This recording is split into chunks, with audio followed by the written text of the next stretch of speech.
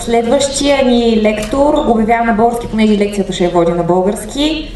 А, познавам го доста добре, за жалост или не работим заедно, т.е. за щастие или не работим заедно. А, по принцип е менеджер по WordPress проекта SiteGround. Ама трябва с ръка на сърце да ви кажа, че много чака WordPress и днес ще говорим на една от любимите си теми – оптимизация на WooCommerce.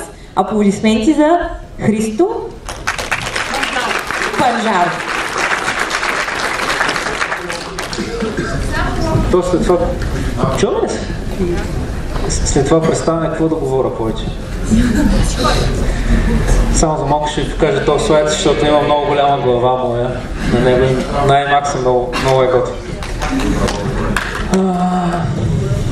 Днес ще, ще говоря на тема оптимизация на WooCommerce.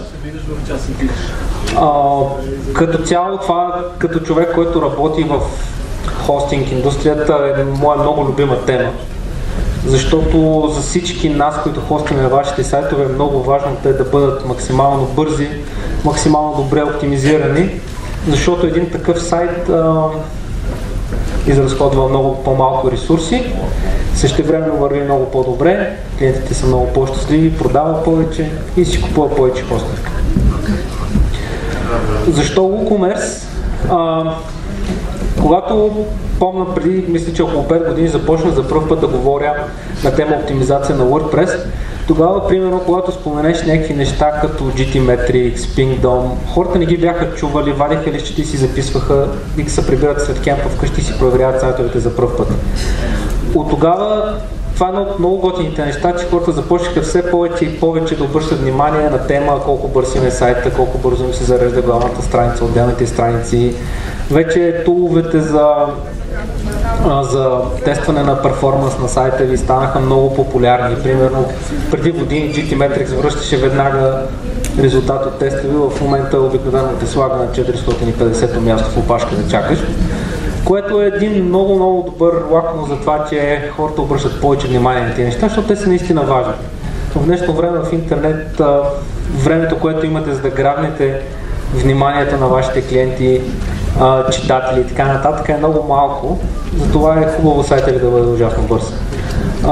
WooCommerce първо в момента се развива може би по-бързо отколкото WordPress като цяло, въпреки че е просто един плагин, той задвижда огромна част от сайтове, които, които изискват много повече внимание, които печелят много повече пари, които са като цяло по-трудни за, за оптимизация.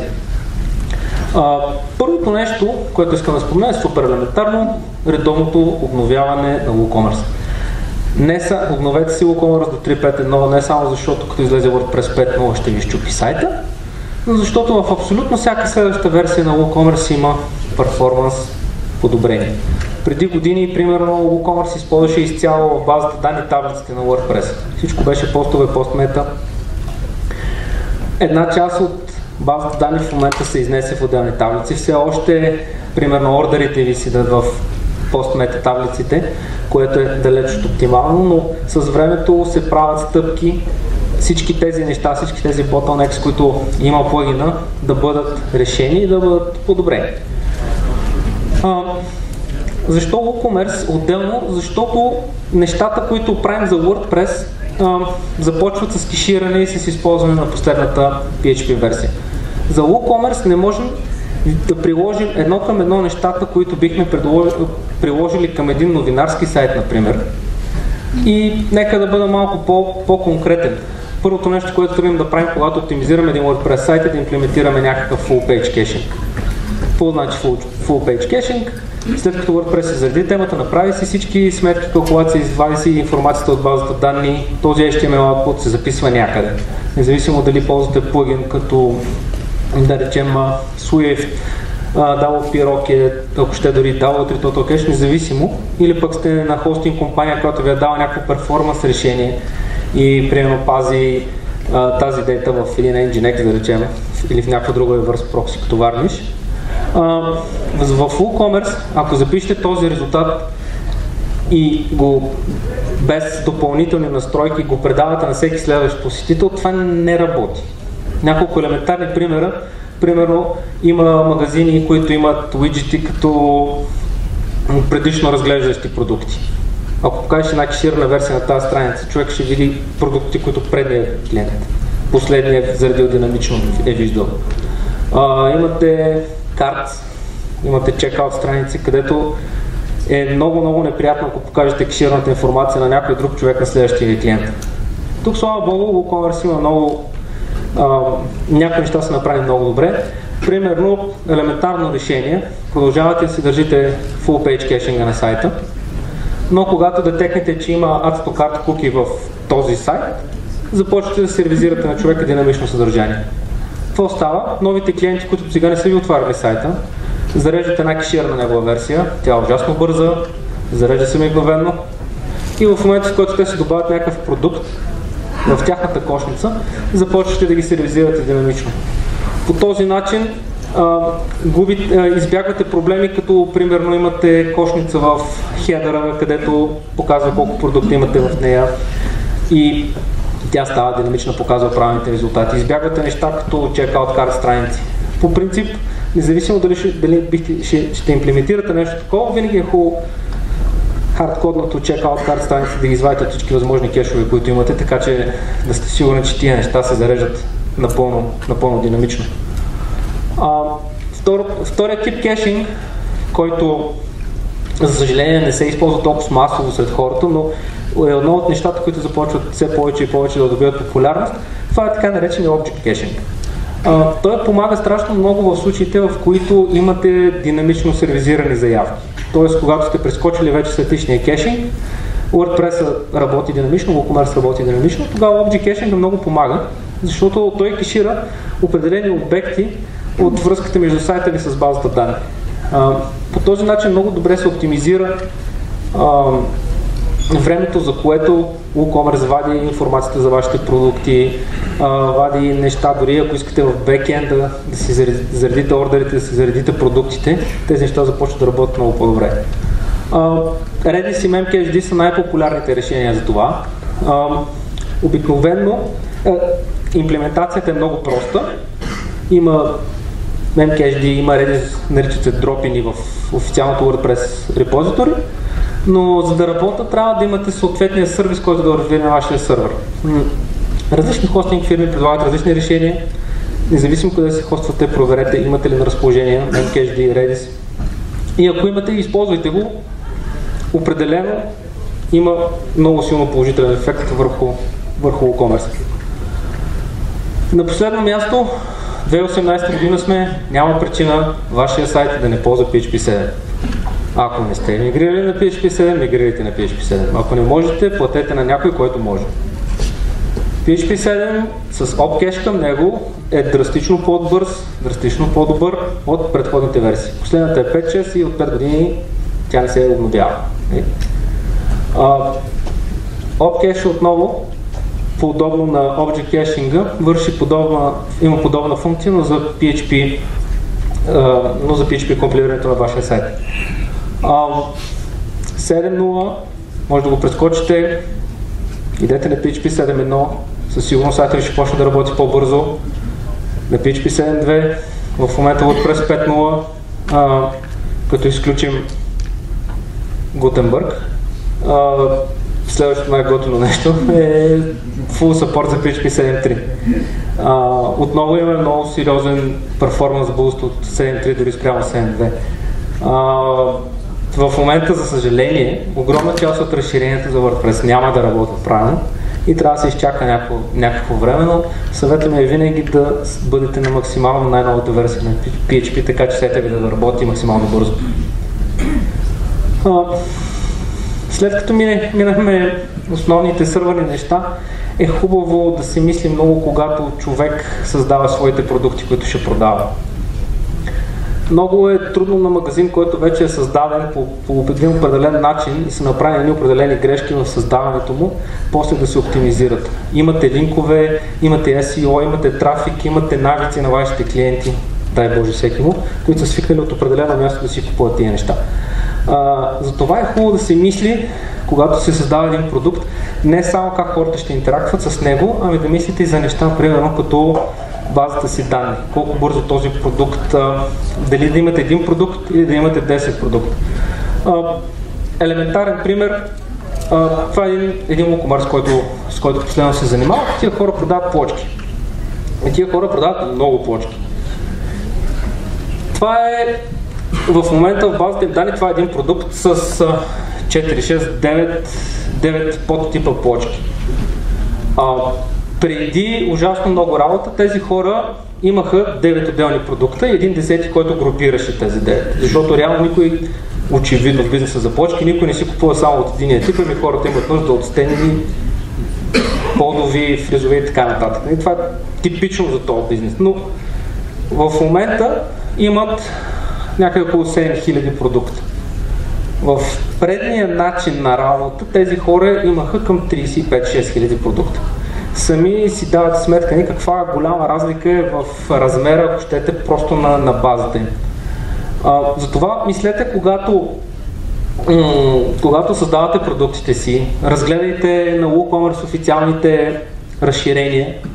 Има много приятни разширения, като да речем Add-ons, Group Products, Composite Products, които ви позволяват да групирате в един продукт неща, които иначе бихте направили на отделно. Това ви позволява да имате една много по-малка база данни, един сайт, който е много по-лек, яде по-малко сървърни ресурси и също време работи по-бързо. Друго много важно нещо, когато говорим за един онлайн магазин, това са снимките. А, всички знаем, че един продукт в интернет е толкова добър, колкото са неговите снимки, колкото е неговото описание. Всички хора се старат да снимат добре, да имат големи снимки. Но, примерно, ако си снимате с новия iPhone продукт и го качите директно в WordPress, това не е особено оптимално. съдържа се информация като а, GPS координати във всяка една снимка, тя е качена по-голяма.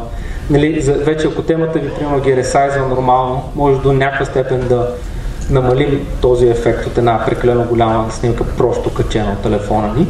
Но от друга страна, силно съветвам да си сложите някакво разширение, като примерно и www Image Optimizer или има и други. На мен лично този ми харесва, защото работи изцяло на, на вашия сървър.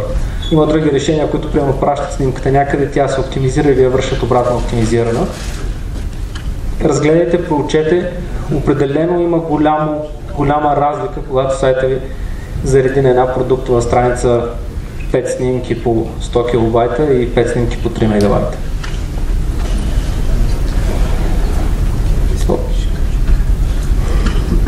JavaScript и CSS, след снимките, това са двете най-големи парчета, които сглобяват един сайт в момента в интернет.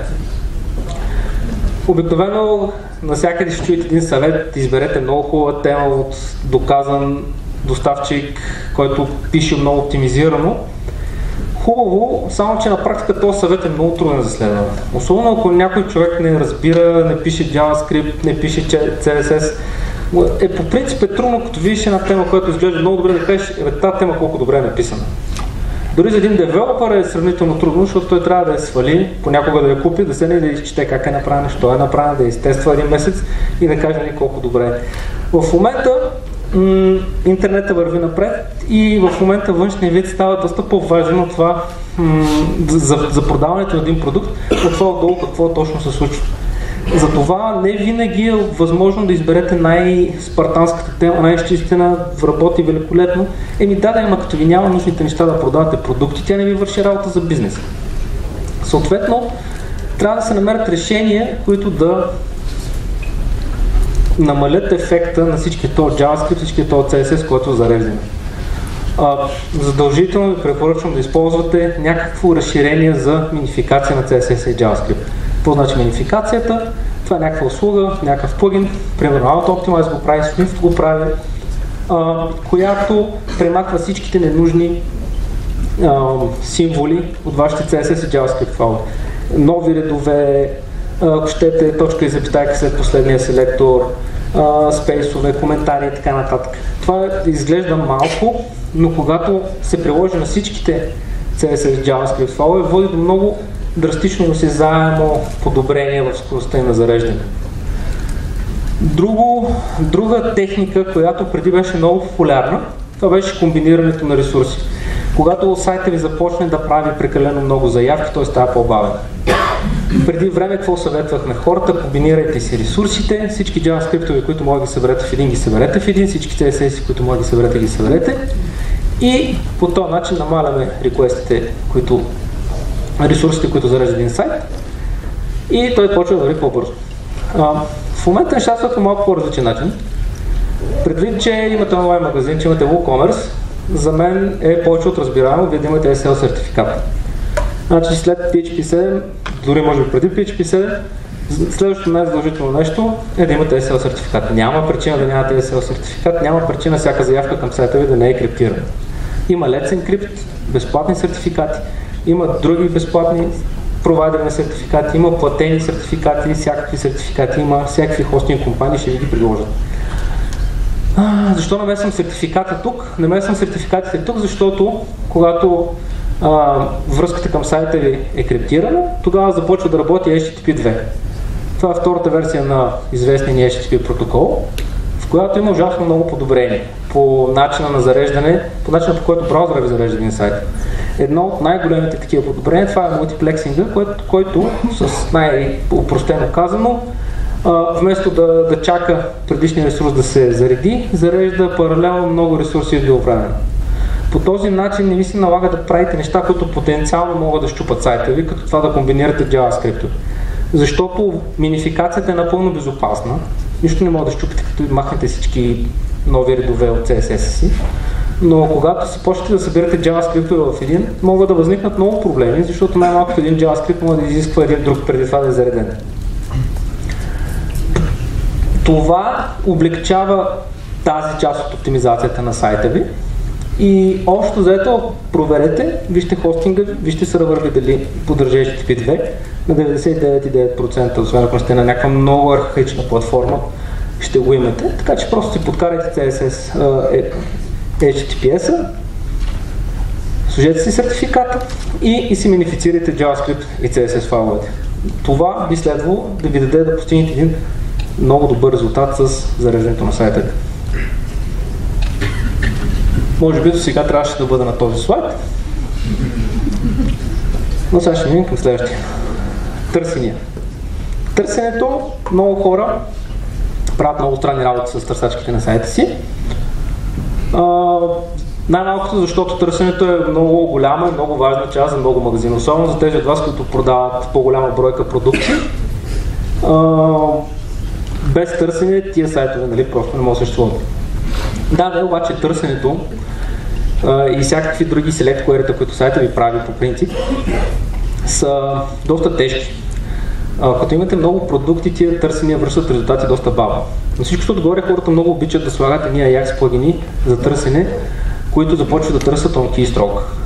Като въведете три букви, той да тръгне да търси да допълва.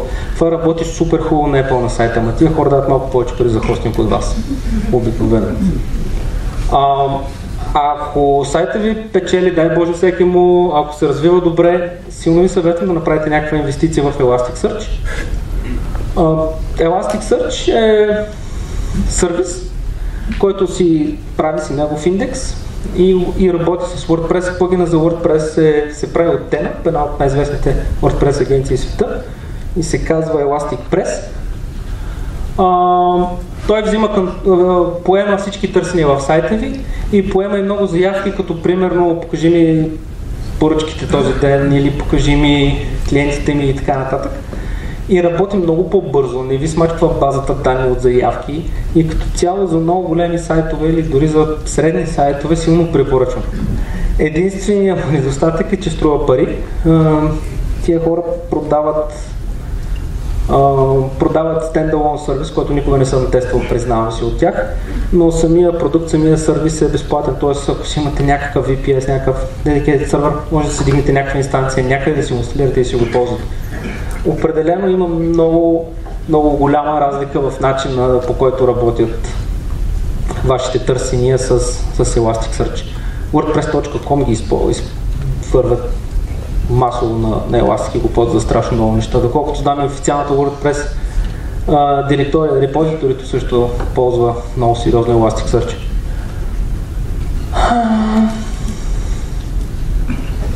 Филтри, филтри, филтри. Всички обичат да си филтрират продуктите, особено в случаите, като са повече от един на сайт. А, и това е още един процес, който може да бъде оптимизиран, още една част от вашия WooCommerce сайт, която може да бъде оптимизирана и да доведе до по-добри резултати. Тук може да борите нещата отново с Elasticsearch, примерно, а, с, с хардвер и с пари. А, рядко си позволявам да препоръчвам някакъв платен плагин на WordCamp изобщо, но Facet WP е най-якия плагин, който последните две години съм виждал. Той е малко по-стар, аз късно го видях. А, какво прави Facet WP? Прави си отново негов си индекс и, и ви позволява всичките неща, като почнете от подреди по азбучен ред, подреди по популярно, с ота до я, покажи ми само продуктите от категория обувки, покажи ми продуктите в ценовия рейндж от 2 до 10 лева. Всички тези неща той ги поема и те започват да работят драстично, драстично по-добре. Много як плагина, съветвам ви, ако имате проблеми с тези неща, ако имате голяма бройка продукти, прави страшна разлика. А, ползвайте го, работи добре. Любима, любима част на всички хора са онлайн магазини. Това са а, всички възможни пиксели, Analytics, AdWords, Affiliate кампейни, да ги сложим на сайта и парите валят. А, основното, което вали са JavaScript файлове, които се зареждат. ползвайте якия Google Tag Manager. А, ако ползвате някакви а, рекламни скриптове, бъдете сигурни, че те се зареждат асинхронно. ако ползвате други Analytics решения, проверете как работят тия решения. Не дайте да ползвате плагини, които ви трупат статистика за на вашия сайт в базата данни на същия този сайт. Рядко има неща, които не могат да се извлекат от Analytics или от а, други решения, които си ги пазят на тяхната машина. По принцип винаги харесвам решения, които при които ти си пазиш съдържанието и си го имаш при теб и си имаш пълен контрол, но в този случай статистиките, колкото повече си развивате сайта, колкото повече продажи да правите, колкото повече клиенти трупвате, толкова повече почва да тежат. Метрило съм го сложил тук, защото е много български проект и хората правят страшно готини неща на тема WooCommerce и дават а, много, много добри статистики за това. За съжаление, дефолтните статистики на WooCommerce, айде да не кажа, че не стават за нищо, но не са много читави а, за един сериозен маркетолог, да речем, за един сериозен човек, който продава сериозно. А, тия хора имат много добър продукт. А, погледнете ги. Пазят, зареждат един много малък скрипт, асинхронно, не товари сайта и тия данни се записват на някой друг сервер, не на вашия и няма да ви влачат надолу. И това беше последния ми слайд. И имам котка която има много въпроси. А ако ви имате други въпроси, ще се радвам да им отговоря.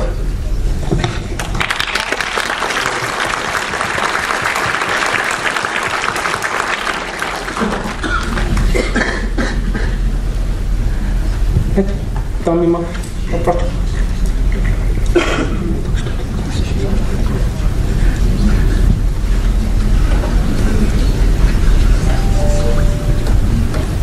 Здравейте! А, искам да попитам там, където беше, технически не мога да го кажа, но едното срещу другото. Той не е технически. Не, мога да го кажа. Не това, не. Не, Ей това. Така, да. Това е една жена, реже снимка. Баш, е, да, е тази.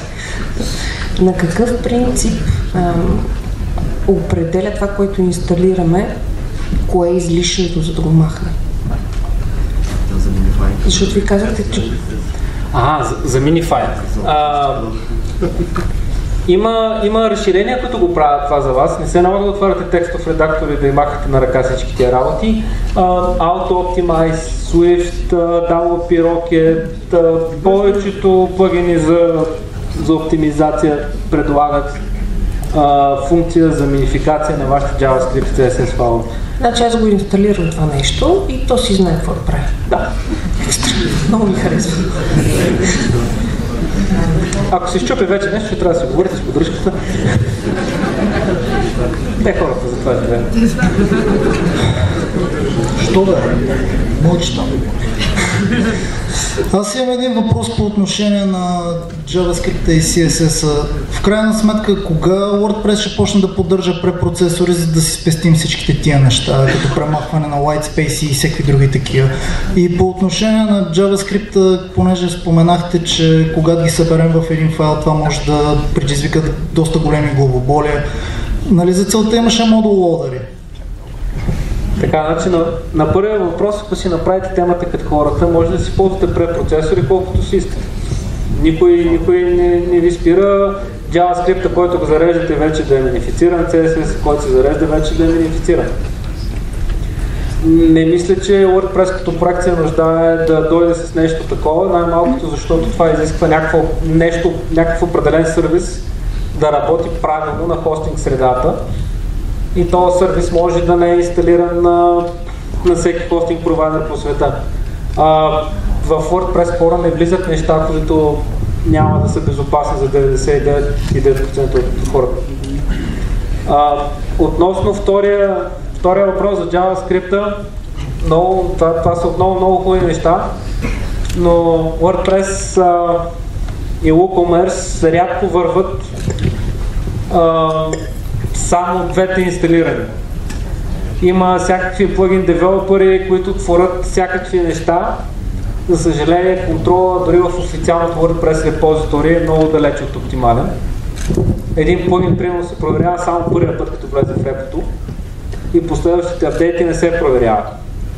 Тоест всичко това е много готино, обаче за съжаление нямаме контрол върху това какво ще направи девелопера Хикс, как ще си инклюдне JavaScript Hits, къде ще го инклюдне, по какъв начин.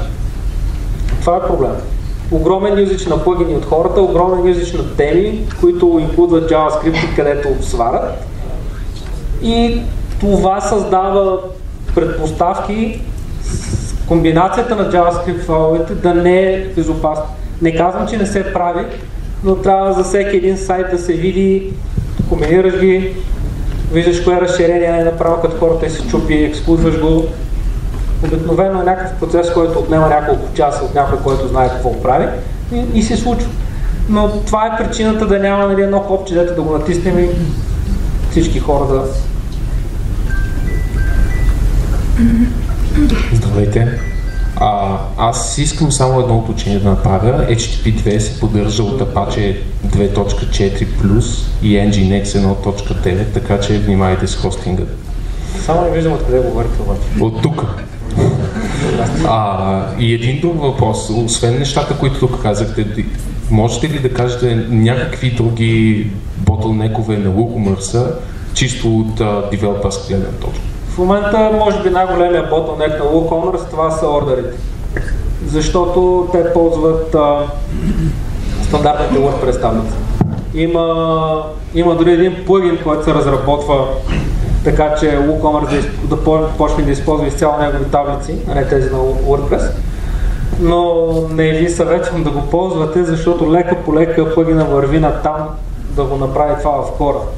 И ако примерно само в този момент имплементиране някакво такова решение, не е ясно това дали няма да направи един апгрейд, други ден невъзможен или ужасно трудно. Иначе като цяло, друг bottleneck е са отново плагините, защото колкото функционалност да вкарва WooCommerce, колкото подобрения да има като shipping classes, като нали, подобряването на пейментите. За съжаление не се мисли много на тема мултиязичност. Преди две години беше много hot topic в WordPress community, това, че нали, примерно WordPress се ползва вече на, разли... на езици различни от английски, а, отколкото на английски и ужасно много хора го ползват на повече от един език и така нататък, но след това нали, някакси забравихме, спряхме да говорим за това и почнахме да говорим само за Гутенбърг, което не е лошо, нали? А, така че ако имате мултилангвидж, това е също един лош bottleneck, за съжаление, защото се налага из- използването на много плагини, които са много далеч от оптималното. Налага се да се правят много неща по разни плагини за промоции, за кастомизация на продукти. Като цяло, нали, WordPress като цяло, съжаление, няма multi-language support в core, което се отвоява като проблем в WooCommerce. За някакви други сериозни bottlenecks не се, се сещате. Здравейте. Споменахте Google Tag Manager. Искам да попитам от гледна точка на бързодействие, каква е разликата между зареждането на 3 пиксела, да кажем, директно на сайта и през Google Tag Manager? Ако са 3 пиксела, не би трябвало да има някаква голяма разлика. Ако са някакви по-големи скриптове, които върват по-бавно, не се зареждат асинхронно, разни ад мрежи и така нататък, те може да ви забавят. Да, но гледна точка на това, че те пак ще се изпълнят всичките, нали? Е, ако същите ги заредите през Tag Manager, е същата работа. Аз съм тук, имам един малко по-нетехнически въпрос. От към организация на продуктите, какво може да направим по неправилен начин, така че то да повлияе негативно на производителността? Ами един продукт, който може да е един продукт, да го направиш на 10 отделни продукти. Вариациите при положение също с продукти има ли голямо значение? А вариациите, не, значи сега ако продаваш, примерно една тениска в 20 вариации, няма как да, да не ги ползваш, нали? Но въпросът е това да се оптимизира максимално, да ги групираш, да, да ги покажеш, да ги държиш в базата с максимално малко записи. Защото ти можеш да направиш един продукт с 10 вариации, ама същия продукт мога да напишеш като 10 отделни simple продукти. Примерно, ако има, нали, ако не са три вида вариации, тогава стават повече. Има много сайтове, които го правят. Нали, примерно, много хора го правят, до някъде имат бизнес логика. В някои случаи има бизнес логика, която не трябва да се нарушава. Нали? Ако, примерно, продавате една фанелка в три цвята, и си направиш ти отделен продукт, защото иначе сайта изглежда тъпо, изглежда празно. Ама ако са 3000, нали, малко по... Благодаря. Здравей. Аз имам един въпрос. Колегата Станимир. А, ти спомена за оптимизации, които са много готини, обаче за всеки един от тях ние трябва да сложим допълнителен плагин. Дали случайно имаш представа да съществува някакъв такъв плагин, който може да свърши всичките тези работи а, заедно? О, Да го напишеш, да, да, да, да, да, Не, въпросът е, че в момента девелопваме с Станимир такъв плагин, който идеята му е да ги прави всички тия работи наведнъж. Но някъде чак след две седмици ще го изкарам живота здраве.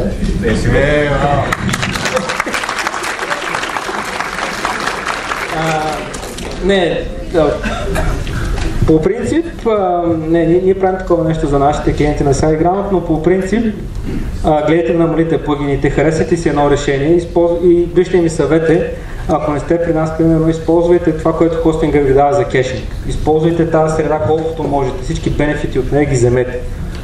За допълнителните неща си намерете плагин, който да поеме всичко останало. Най-вероятно ще имате дублиране на някакво съдържание. Примерно, като, ако използваш кешинг от хостинга си и си качите Swift Performance, а, той ще тръгне той да ви прави кеширане. Но, не, но вие не сте задължени да го ползвате. Може да го изключите като опция и да оставите Swift да си върши нещата, които си върши великолепно. А, минификация, ако щете комбинация, ако ви сработи правилно, оптимизация на картинките. Промерете един плагин, който да върши всички работи, супер. Общо взето повече се опитват да ги правят, но, но пак ви казвам, съвета ми е да си използвате кешинга от хостинга, а, да, да не пишете на файлове в, в диска си.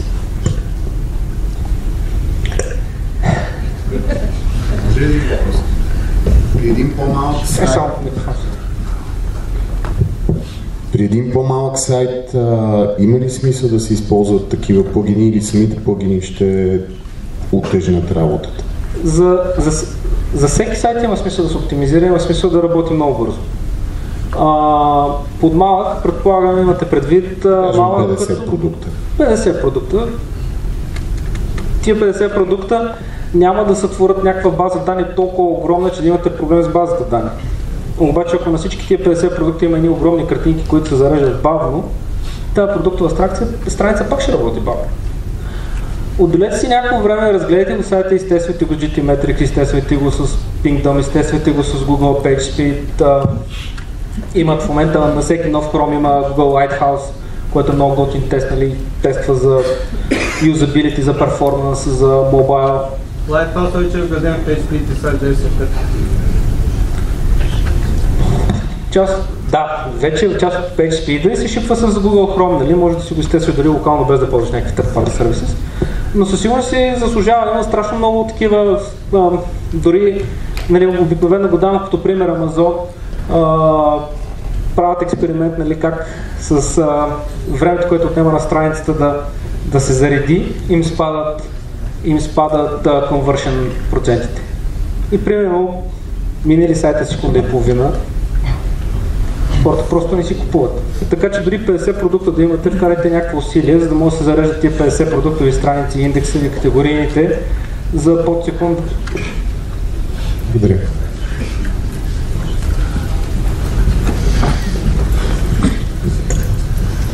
Има ли още въпрос?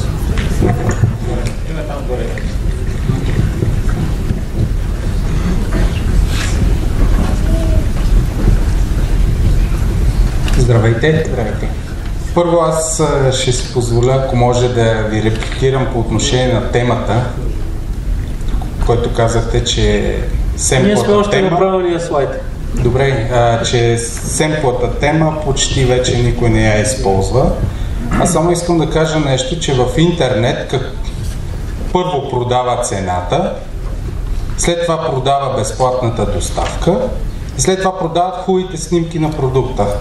Темата, ако я направите перфектна, но нямате нещо уникално като продукт, повярвайте ми, нищо няма да продадете. Колега, извинявай, че те прекъсвам, вече сме да. в времето на почивката, така че на дискусиите може да си ги продължим после. Да, да. Както Христо да Аз- говори набързо на въпросите. Само много набързо за, за последен въпрос. А, аз не споря с вашия бизнес отдел и с вашия маркетинг отдел. Да. Вие най-добре знаете как, прода, как да продавате вашия си бизнес. Дали са почки, дали е сладолет. Не казвам, че трябва да имате супер натруфена тема, не казвам, че трябва да имате черно-бяла тема само с текст и една снимка. А, казвам, че наблюдавайки интернета, наблюдавайки успешните магазини, се вижда такава тенденция хората да използват все повече а, визуални средства да си продават плъгини. Тия снимки имаме, качват се големи, лупи се показват, слайдери се въртат и така нататък. И ако бизнеса ви, бизнес решението ви, дизайн екипа ви, маркетинга ви иска да ги използвате тия работи, не си жертвайте бизнес логиката, бизнес мисъла, не си жертвайте от страх, че сайта ви ще работи супер бавно. Защото има методи, има начини един по-тежък сайт да се оптимизира така, че да работи добре. Най-лошото, което може да стане, е да почнете да давате повече пари за хостинг и за услуги като Elasticsearch. Това е. Супер, нека да благодарим на Христо за лекцията. Мерсиите.